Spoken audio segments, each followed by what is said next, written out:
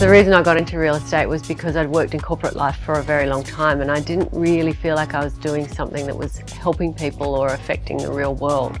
So I gave real estate a go and I just discovered that I loved it because I was really working directly with people, helping them with something that was really important in their life. So when I started at Highland, I was just an agent on my own. Uh, I'd only had a couple of years experience at the time, so I, I was starting really from scratch. So within a year, I had an assistant and then after about another year I had another assistant.